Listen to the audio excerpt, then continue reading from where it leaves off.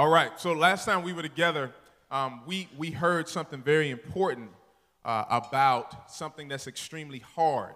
You know, some of the hardest elements or materials on the planet are metal, bamboo. They almost seem impenetrable. Also, there's diamond. Diamond is one of the hardest materials you'll find on the planet. But our author gave us something to present that's even harder than some of those hardest elements, and that is a hard heart. That the heart, a hard heart towards God, is one that does not experience the fullness of what God wants us to experience. And we said there are six symptoms that we need to recap because it's important that we need to understand if we are exhibiting these symptoms of a hard heart.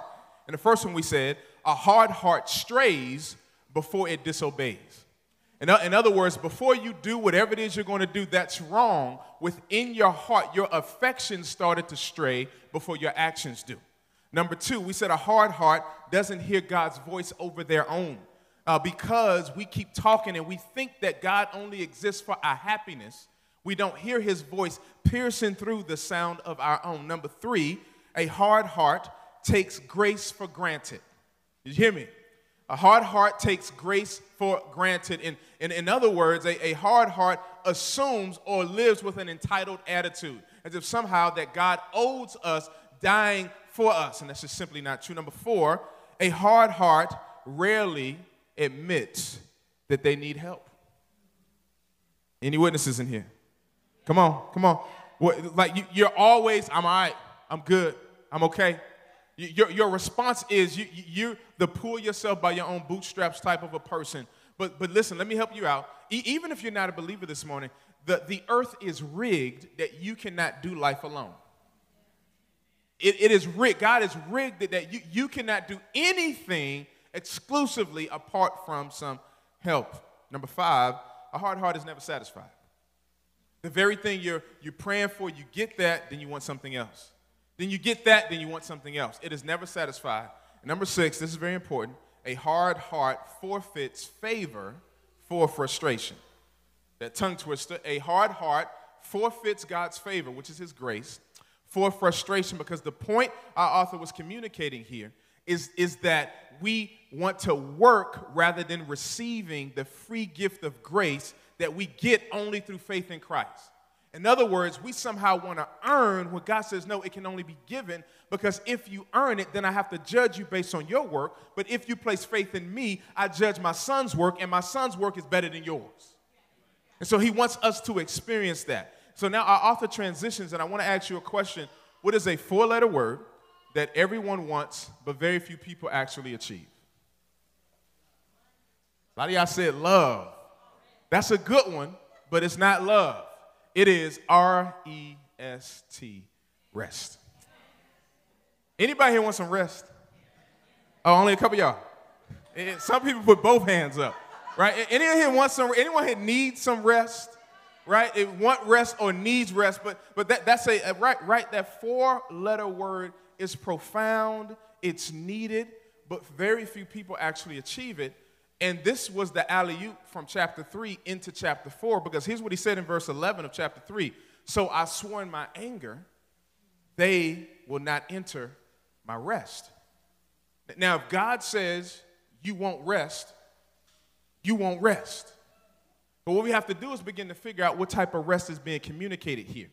Uh, rest, this short and yet powerful word, really shows us something about our attitudes because the reality is all of us have access to rest, but many of us have the wrong attitude about rest.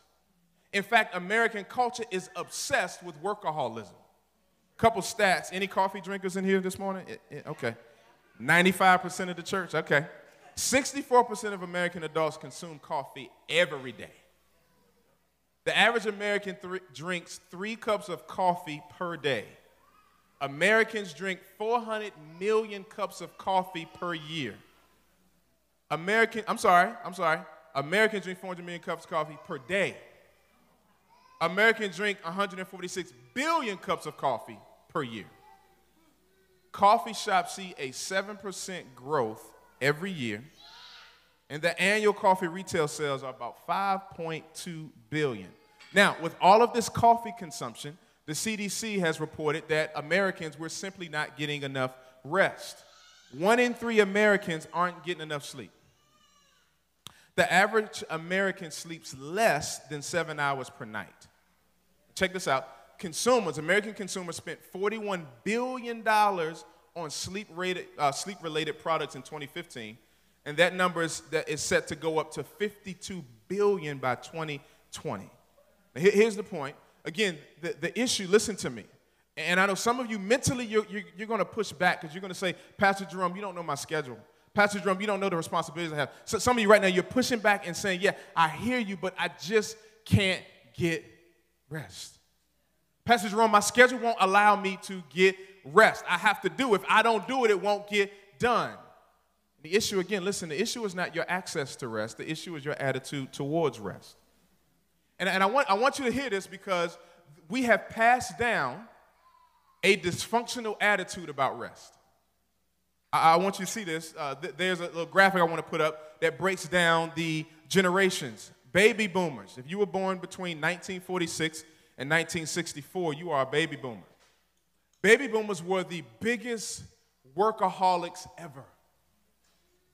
It was all about work. We literally get the term tenure from the baby boomer generation. They would stay in a job for their life and retire. Then my generation, Generation X, if you're born between 65 and 79, we were the latchkey kid generation. We came home to empty houses because our parents had to, and they were working. So we came home to empty, empty houses. A lot of our parents were working double jobs. So at night shift, we would be able to determine what time we went to bed because we would not only come home to an empty house, sometimes we would sleep in an empty one. So we have the baby boomers, then we have Generation X, and, and according, listen to this, according to Fitbit sleep data, Americans in their 40s and early 50s get the least amount of sleep. Millennials, where my millennials at? 1980 to 1995. Be careful before you cheer too loud.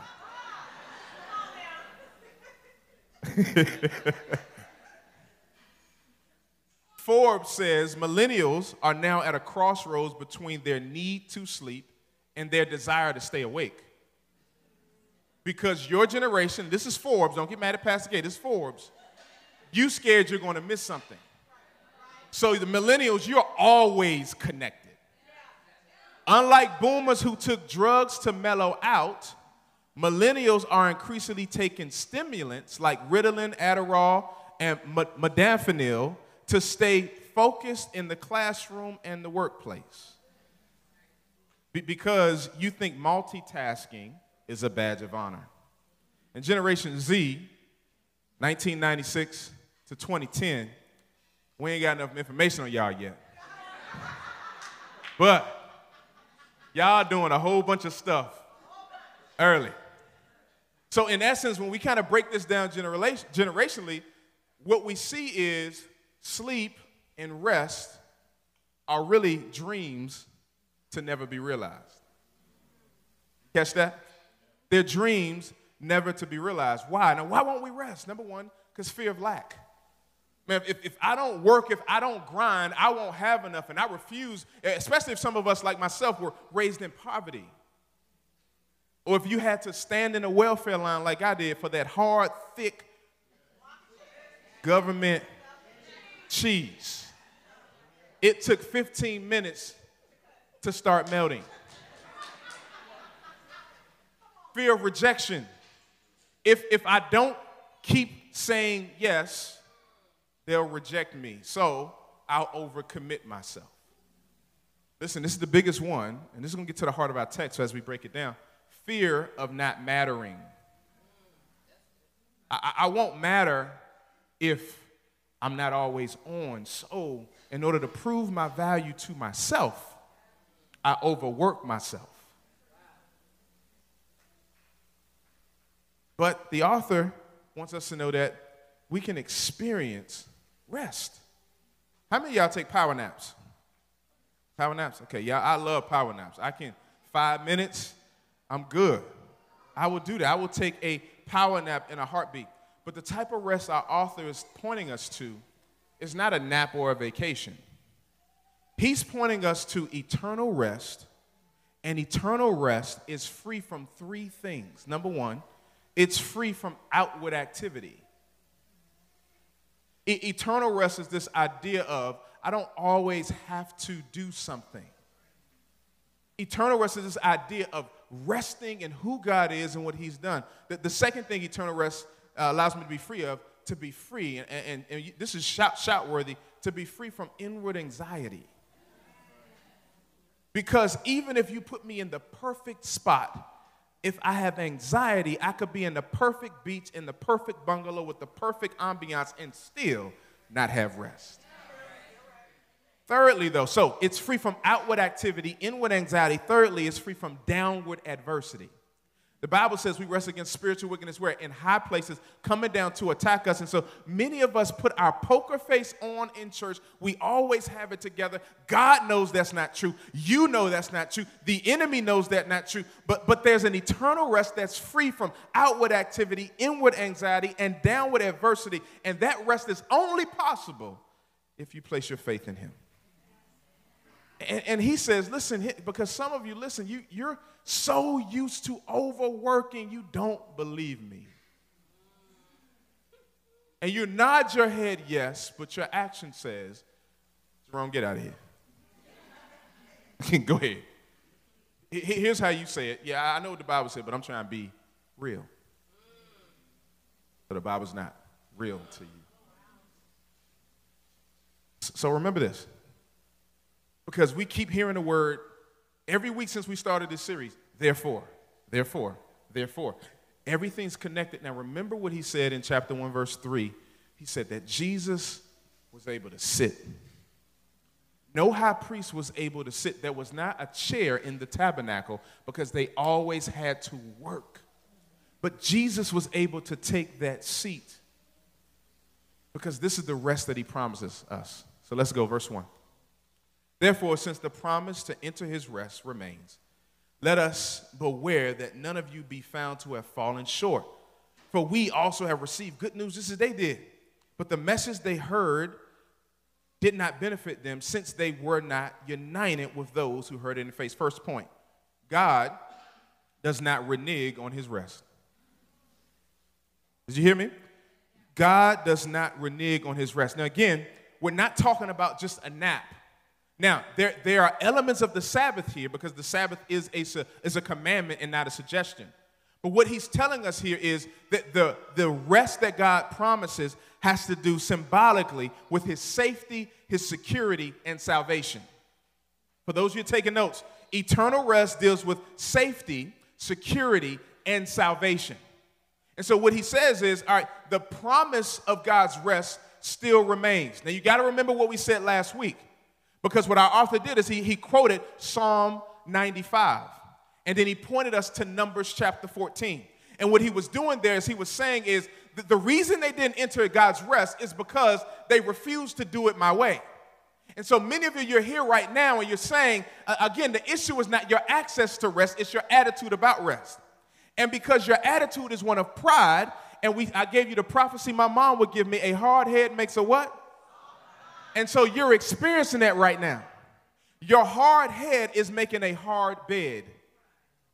Because even when you lay down, you still don't get rest. So he doesn't renege on his rest. So he says the promise of God's rest still remains. Here's the point he's making rest is a person, not a place. Rest is a person, not a place. So when it says it still remains, he's saying, even though Israel, they didn't enter and what God prophesied in Numbers chapter 14 is you won't enter, but your children will. You didn't set a good example in your generation, but God says, My grace is sufficient, so I'll raise up another one. Aren't you glad to know that even if you blow it, your children's children's children don't have to? God says, If you don't do it, I'll use someone else to do it.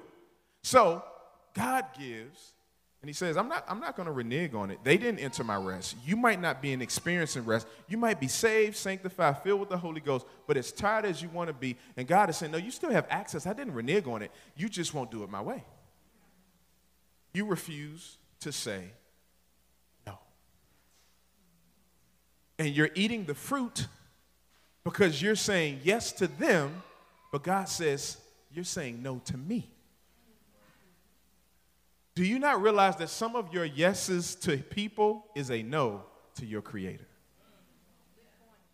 So he says, You won't enter my rest. They didn't enter, not because they don't have access. The promise still remains. God doesn't renege on his promise for rest. And so this is why he wants them to understand don't take my grace for granted. You have access, but make sure you're not giving it to a hard heart. The second thing he points out there, he says, they heard the good news. What does that sound like? Gospel. I love it because he's saying the gospel was in the Old Testament. Uh oh, come on, family. He said that the good news was in the Old Testament. They heard the good news, but then he says it did not benefit them. Why? He, listen to me. Hearing the gospel isn't enough. Did you hear me? Coming to church, hearing good messages isn't enough. You can hear a good message, you can say amen to that message, but if it doesn't penetrate your heart, it was just dead words to you. The way you get the fruit of the message of God is to apply it to your life. So if I said right now, the Shell gas station around the corner, they are for, for three days, they're selling gas for 25 cents a gallon. Some of y'all would leave the middle of the sermon. Pastor, I might be back. But if you know gas is 25 cents a gallon, but you don't go get it, guess what? Your tank still stays empty. Some of you, your spiritual tank is empty. You have access, but you're not taking advantage of the access that you have. So he's saying they, they heard, but it was no benefit to them because they didn't apply it.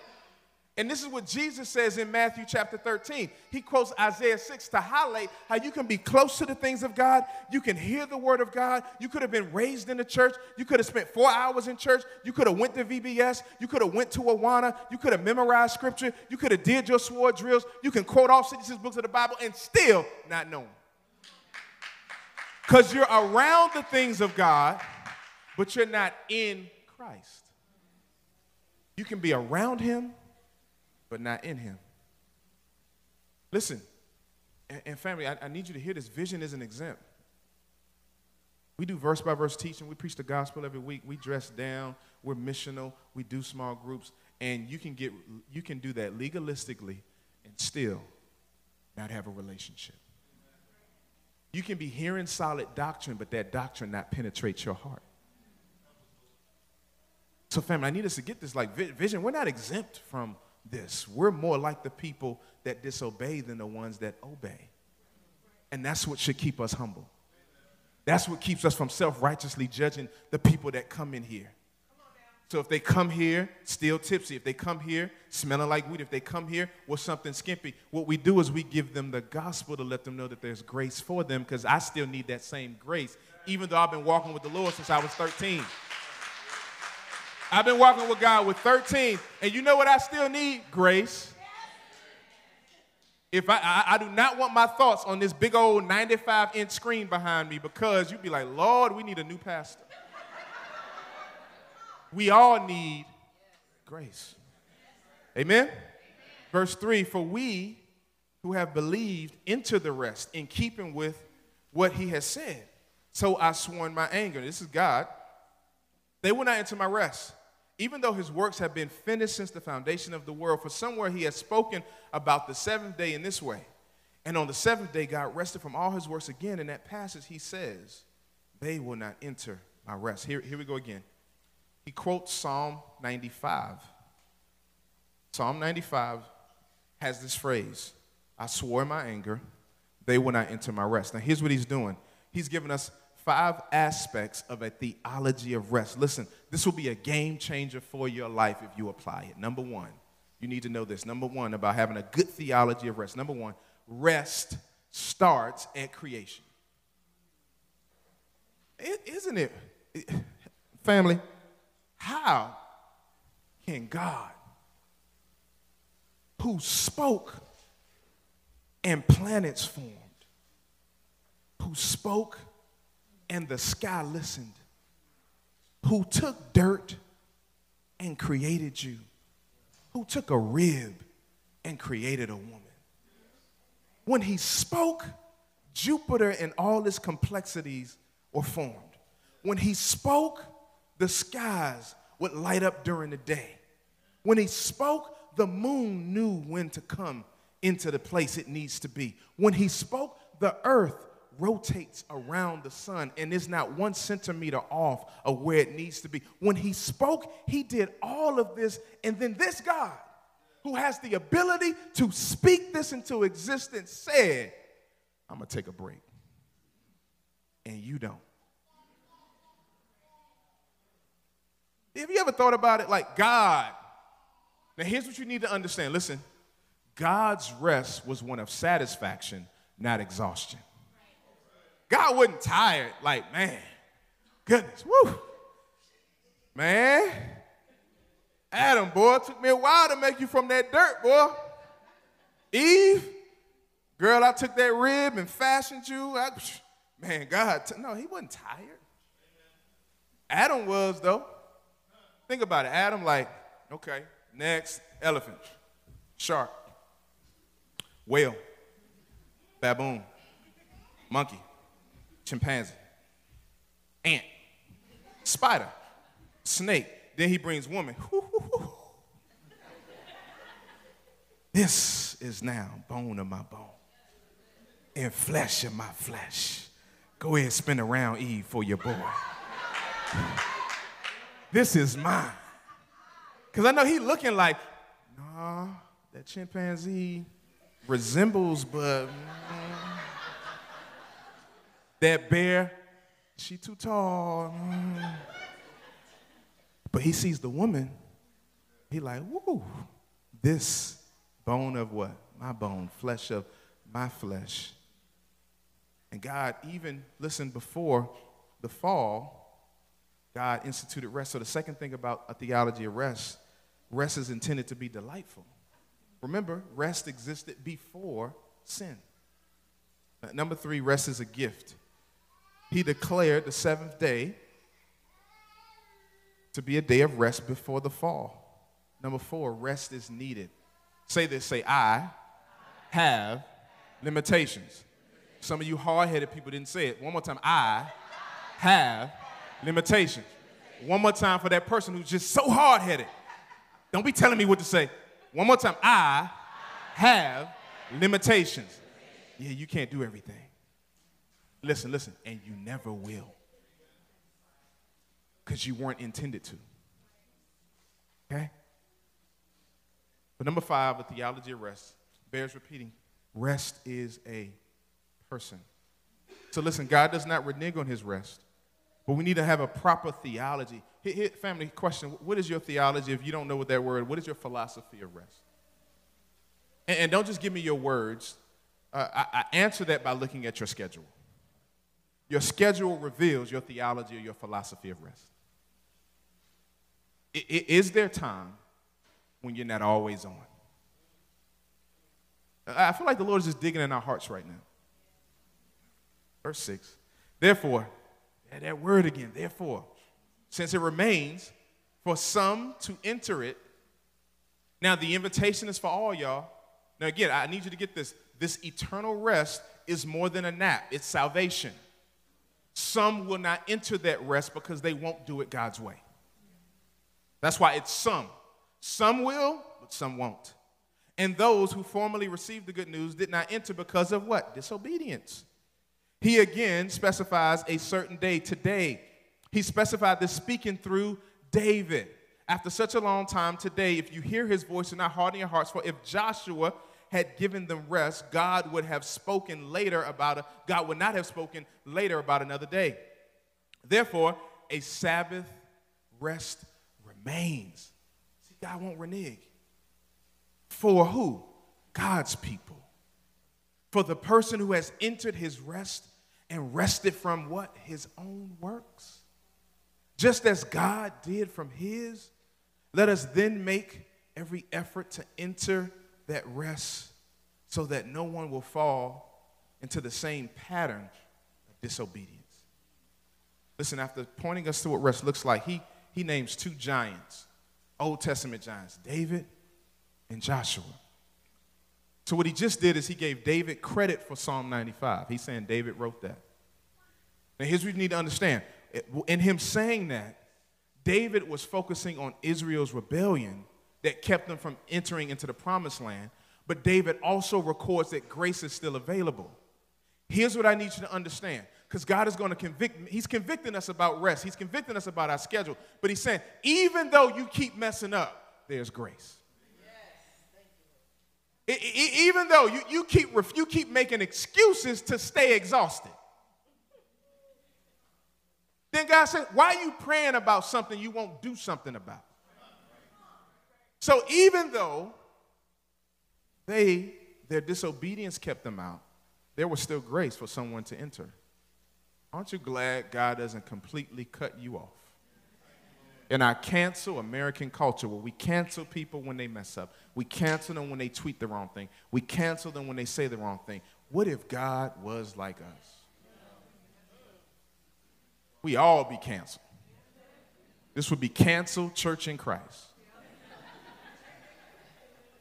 But then he mentions Joshua. So, so, after doing this, Joshua, here's the thing he's doing. Again, I, I, for those that like rap, I tell you, man, there's so many bars in this text. What he just did was he's given us some biblical Old Testament imagery so that we can dream and see the beauty of what he's saying. Moses didn't enter, Joshua did. Even though Joshua entered Canaan, and they enter this land flowing with milk and honey. The point he's making is that even though they entered, the people still disobeyed. So he's saying that while Joshua was able to enter, that was a physical land. I'm not talking about just physical rest. So Joshua entered, but Jesus is better than Joshua. Joshua gave you human bodily rest and abundance. Jesus promise, promises eternal rest, eternal security, eternal significance, eternal rest. Quick review creation rest. This was broken at the fall, but not beyond repair. Jesus restores it. Canaan rest, right? Canaan rest is this land flowing with milk and honey. Family, uh, men, I want to challenge us. What I do is whenever I'm preaching, whenever I'm preaching, that's our family devotion on Saturdays. So this text, Hebrews 4, 1 through 16, was our family devotion yesterday morning. And so we, we uh, sometimes we're at the kitchen table, sometimes we're at the, at the bed, um, in the bed, and we all got our Bibles out. And, and I said, all right, family, uh, I want to ask you guys a question. What, what, what would be the perfect vacation spot? And what would be the top three things you want?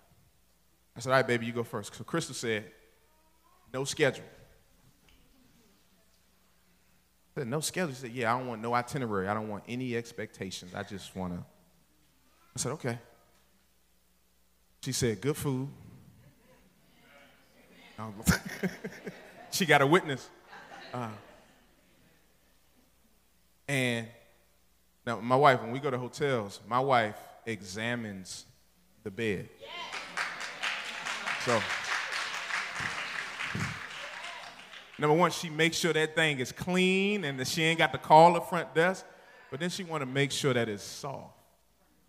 I said, okay, baby, okay. Uh, I said, Jamari, she said, uh, I want to go to Bora Bora. I said, Bora Bora? You 14? She said, Bora Bora. I said, okay. She said, with my friends. I said, okay. And uh, she said, then I, I want clear water. I want water where I can see through the water. Okay, cool. Jordan, what you got, Jordan? And my son, eight.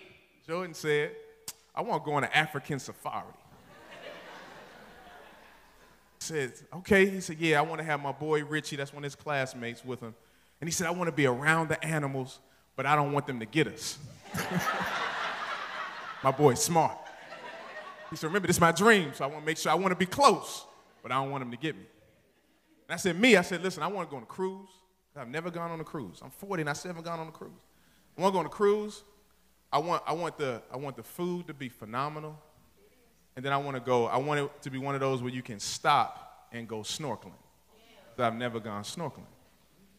And I said, okay, we got, all right, we got all of our situation together. I said, if you had all of that, perfect, everything you wanted, but if you still had worry, it would mess up the perfect trip. can't have a perfect trip as long as the internal anxiety remains. This is why God promises us a different type of rest. He says, everything here, even the perfect vacation, when you come back home, there are things to worry about. God says, I have a rest for you that exists in glory where there will be no more worries. It's done. That's the rest that I desire for you. But that's what he wants us to understand. Creation rest was broken but restored. Canaan rest was not complete, but Christ rest. See, Christ is our Sabbath. And the key to understanding Jesus is our Sabbath rest is that Hebrew word Shabbat. It means to stop or to cease from work. It doesn't mean for you to go quit your job. What he's saying is, is to rest in the finished work of Christ because you can never make yourself right with God. No matter how hard you try, you can never make yourself right with God. You cannot come before God and say, I sat through that hour service with my mama. I did that. He said, he, and God gonna be like, and?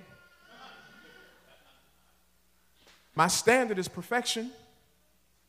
And the only way for you to achieve this standard is to be in my son. This is why they Israel was constantly trying to earn and they had to keep offering sin offerings because they would never perfectly keep the ceremonial law, the Mosaic law. They would never uh, achieve those laws. They, they always would mess up. And that's my testimony, that's yours. I can't, I can't even get, I, I, I can't even keep promises to me. So yeah, yeah, see, I need a real church. What's our phrase? We're, we're not perfect, but we're progressing. So I, I can't even keep my own promises to myself. So you think I'm gonna keep promises to a perfect, holy, righteous, spotless, sinless God? No. But someone did that for me. And I'm grateful that that's what Jesus did for me. That's why it says in Hebrews 10 12, after he offered one sacrifice for sins forever, he sat down at the right hand of God. Brings us to our next point. Listen, family. Learn from the bad examples in your life. Don't repeat them. Where you getting that from, Pastor Gay? That's why he's bringing up Israel. He's saying, listen, learn from their bad example. Don't repeat it. They didn't enter his rest. That's going to be you if you follow their pattern. Learn from, listen, learn from the workaholics. Don't emulate their workaholism. Learn from the people, listen, who have sacrificed their family at the altar of a career, who have sacrificed their, their family at the altar of more degrees, who have sacrificed their family at the altar of their personal fame. Learn from their mistake and don't you sacrifice yours. Family, can I tell you, being in ministry the first three years, I blew it as a husband A friend of mine tells, he tells church planters, he says one of the first affairs a church planter has is with his church. My wife hated Vision International Church because it took her husband away. I blew it. We had one vacation the first three years. I blew it. And thank God for men rebuking me, challenging me, digging in me, and saying that if you think you're going to keep that church together, you need to give it up because it's God's church, not your church. Which is why, family, why Pastor Gay takes sabbaticals. I, I ain't, I'm not going to use proper grammar, I ain't preaching 52 Sundays out of 52 weeks. Amen. Because, and if you cared about my family, you wouldn't want me to.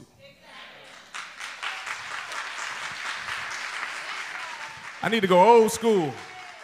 Ah! so, what he, so what he said, make every effort, he says, to enter this rest. So here's what I need you to do. I need you to say yes to God things and no to good things. Every opportunity isn't evil. but it may not be for you. You know, because the enemy will, he he's slick. Remember, the Bible says schemes in Ephesians 6. So he'll say, look, no, it ain't, it ain't sinful. But it might be sinful for you to do this instead of waiting. Because the reason we overcommit ourselves is because we don't trust God. And I'm talking to myself too. The reason you and I overcommit is because we don't trust. All right, listen to me. They didn't enter their rest because of their disobedience. Just sidebar, I need you to, I need you to know the difference between being tired, that's a good thing, but being exhausted, that's a sinful thing. Prove it, Pastor Gay. Jesus was tired, John 4, verse 6. See, some of you, you I, I get tired. Sometimes parents, now, now, just can you, parents, can we be honest? Do you get tired watching your, your own kids? nah, nah, some of y'all lied. So I'm, I'm gonna ask this side because I feel like we got a relationship. Do you get tired watching your own kids? Come on. Okay, all right, all right, all right. Now, but listen, that's a good tired because that's your responsibility. It's a good tired. I get some, as a provider, sometimes I'm tired from my work. That's a good tired.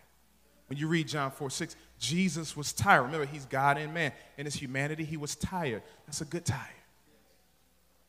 So, so tired isn't necessarily a bad thing. I get tired after a good workout. I'm doing something good, but I'm still exerting energy. So tiredness within itself isn't sinful, but exhaustion. See, exhaustion affects your mind, your body, your soul, your energy. And what exhaustion does is it drains you of hope. Anybody with me? It drains you of hope. So this occurs when I don't set healthy boundaries and I don't say that two letter powerful word, no. Here's what I need you to say no to, family. Listen, we have to say no to the lie that the more I do, the more valuable I am. Please let that stay up there for a little bit. We have to say no to the lie that the more I do, the more valuable I am. So I'm going to say no to a works based salvation that tells me I have to earn God's love, I have to earn God's grace. I'm going to say yes to the free gift of salvation He's given me. I'm secure because of what, he's, what He did for me. Two things with this last section. Verse 12 For the word of God is living and active, sharper than any double edged sword, penetrating as far as separation of soul and spirit, joints, and marrow. The Word of God there is not just talking about the Bible, it's also talking about what we call the incarnate Word. John chapter 1, verse 14, and the Word was made flesh and dwelt. Greek word skenao, pitched a tent. That's what skenao means.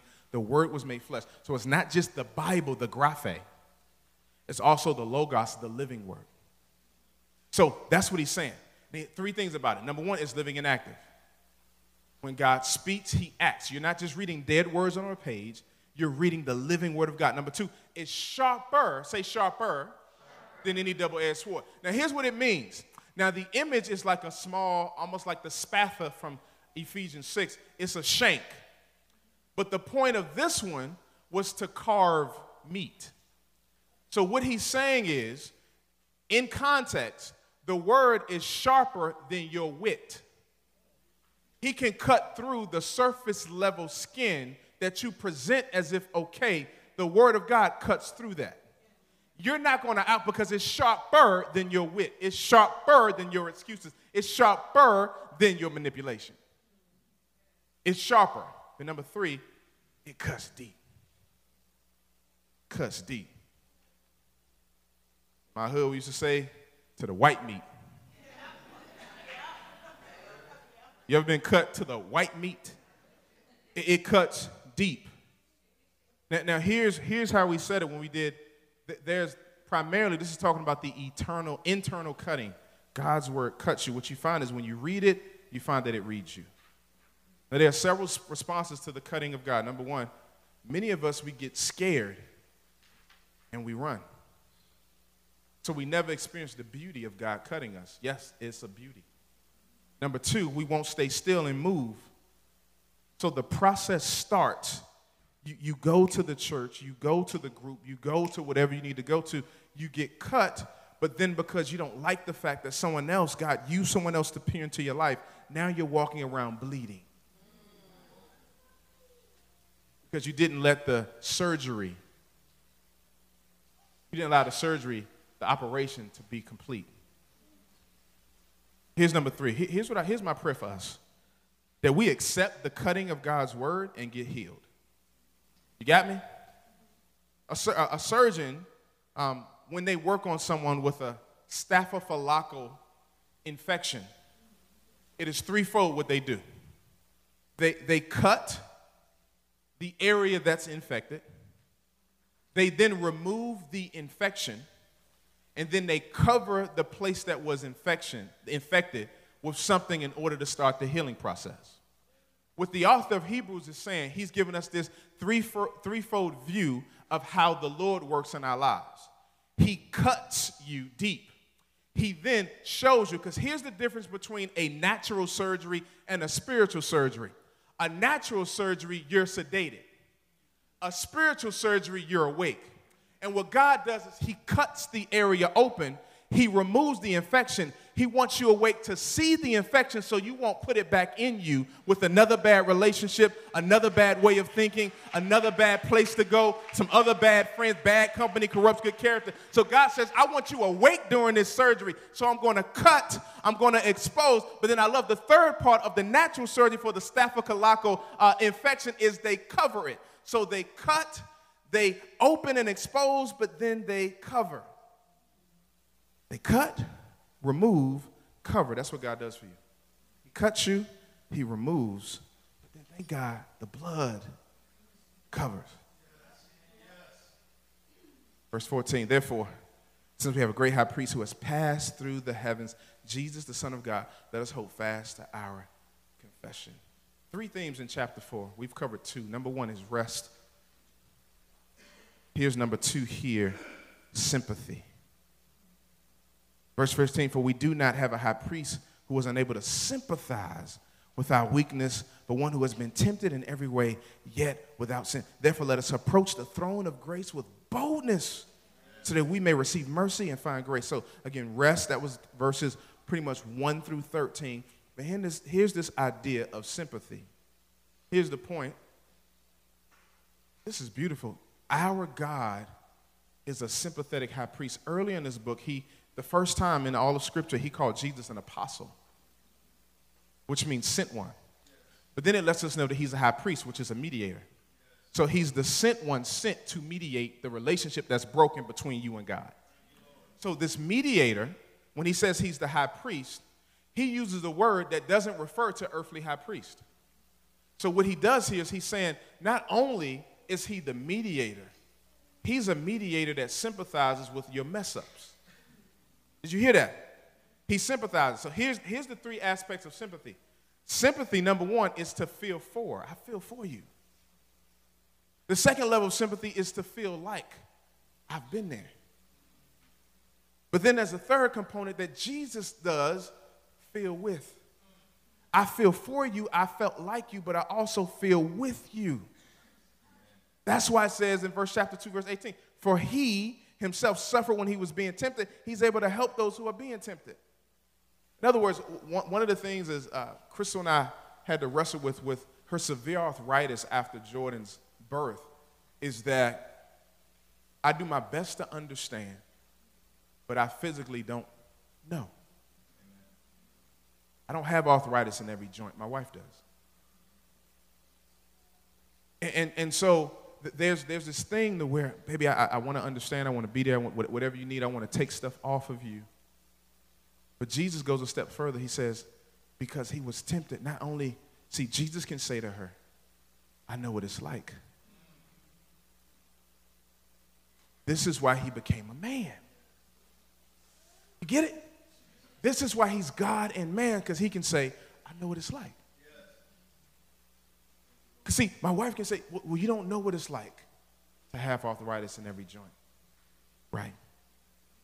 But there's nothing you can tell Jesus, you don't know what it's like. Now, you would say, well, well, well Jesus was never raped. J- Jesus never uh, was, was never paraplegic. Remember, temptation and sin, the Bible says he tasted death. He did this. Jesus says, I, I, I may not have gone through everything experientially to the degree you're saying, but I know what it's like because I've been tempted and I felt the weight of all the world's sin. You don't know what that's like. I know what it's like from an experiential standpoint, so I can identify with you. Third theme is this boldness or confidence. Let us boldly approach the throne of grace. Listen, family, this is not an actual throne. This is what's called an anthropomorphism.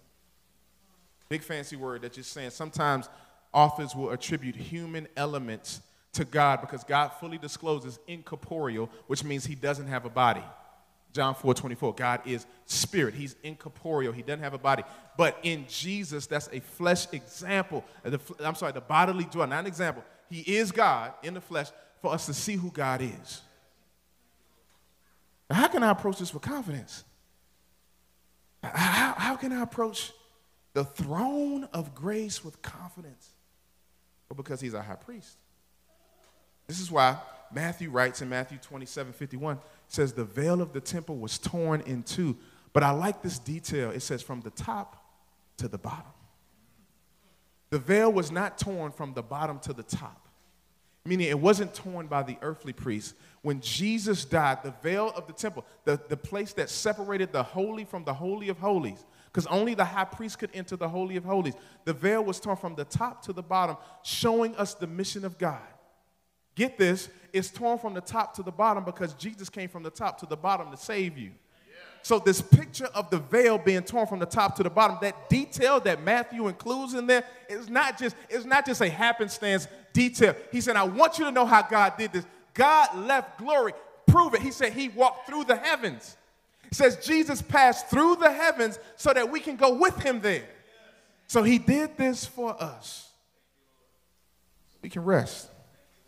I got a love hate relationship with Duke Energy.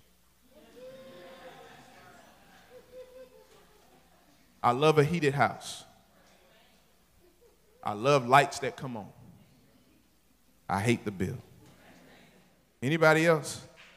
I got to love, if you work for them, I rebuke you in Jesus' name.